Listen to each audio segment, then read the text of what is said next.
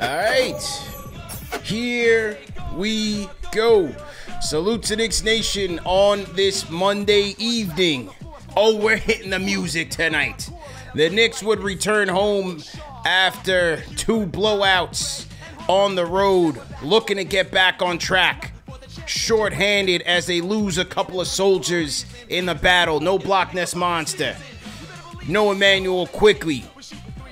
So they would have a battle on their hands with the Toronto Raptors coming into town looking for revenge. But the Knicks' big three would not let their squad down. Randle, Barrett, Brunson. How about Josh Hart off the bench? Q Dot activated. And in his absence, he had commendable performances by I-Hart and Jericho Sims. Knicks continue their undefeated streak against the bottom dwellers of the league. Once again, beating the Toronto Raptors, man. 136, 130. Knicks get the dub before they head out west, man. Let's talk about it. Hit that like button, hit the share button, subscribe to the channel. Another edition of KFTV Post Game Live.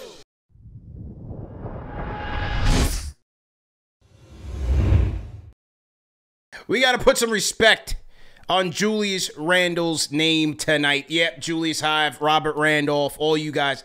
It is your night because, you know, you, you, you watch that first quarter and you kind of just watch Julius's mannerisms. You know, just him being here for five years, you kind of just know when he's going to be on and when it mm-hmm. might be a tough night. And the minute in the first quarter when I saw him attacking, attacking the paint, posting up in the paint, operating in the paint, I said, it's going to be a good night for him.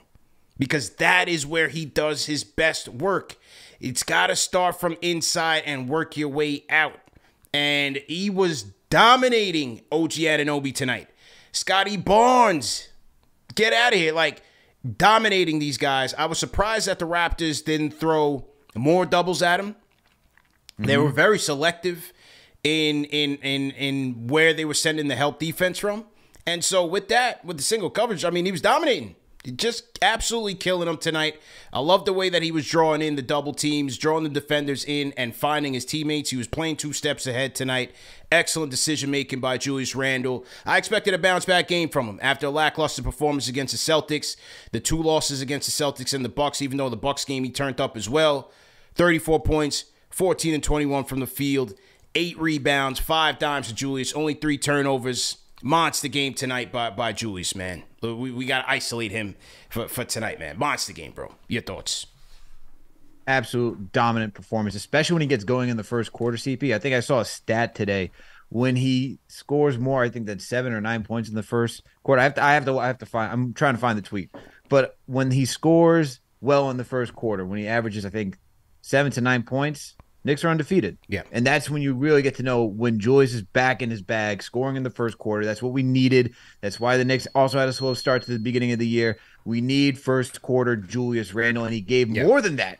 He gave more than that in this first quarter. I believe what he had, like 15 points in the first quarter. So dude was just Killing. on one bullying left and right. That's the type of Julius Randle you like to see. And see, I just love the energy that he had throughout the entire game. How about how about the jab step on Scottie Barnes getting right past him, Yeah. then posterizing Precious Achiuwa, picking himself up on the rim, slapping the backboard. Yeah, we'll take that Much technical. deserved. We'll- we'll take Much that deserved for the tech. bro. I Yeah, love yeah. everything about it. Yeah. Everything about it. And then Hyde then getting into the saying to the crowd, "Come on, come on." That's what Yeah. you want to see, man. That's That's, what what you want to see one of your top two players do. Get the crowd involved. sh- Uh, put on a show.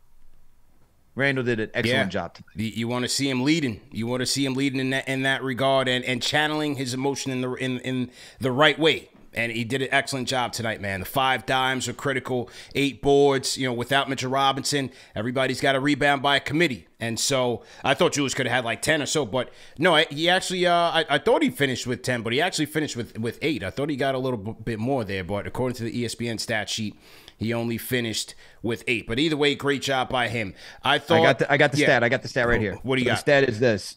So before tonight's game, the Knicks are seven and one when Julius Randle scores greater than seven points in the first quarter. They are one and five when he scores less than five points in the first quarter. Mm. And there you have it. There you go.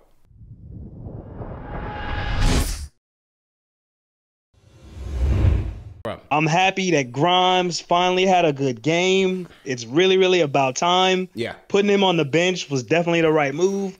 I think this might be the first game that our big three all had 20 plus. So, and it's still, even though we won, it still is a little shaky. Yeah. It's going to be a rough month, but we got to see this a little bit more consistently. And I'm, I'm hoping we can keep this going. Thank Okay. you. Appreciate it. Too too cold. Too cold. I think I thought they had 20 last game and lost. Or was that the Milwaukee game?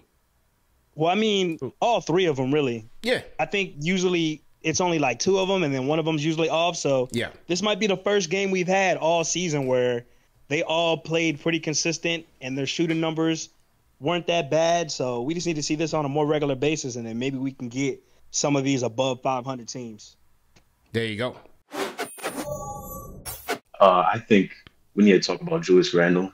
And I really like how he's changed his game. Yeah. Like looking at last year, he was like top ten in three points attempted. I don't understand why. Mm-hmm. And I don't know if you've noticed in the past like five games, he's shooting less through. Like he's shooting at most get back five into threes the a game, paint, man. Get and that will, I think that's paint. perfect for him Yeah. because he's such a the man is like 6'9", 250, built like a silverback. Nobody could really hold him in the paint. Like Yeah. and when he decides to do it, it's it's really it's something else. It changes his game, makes it so much better, and the offense just flows much better.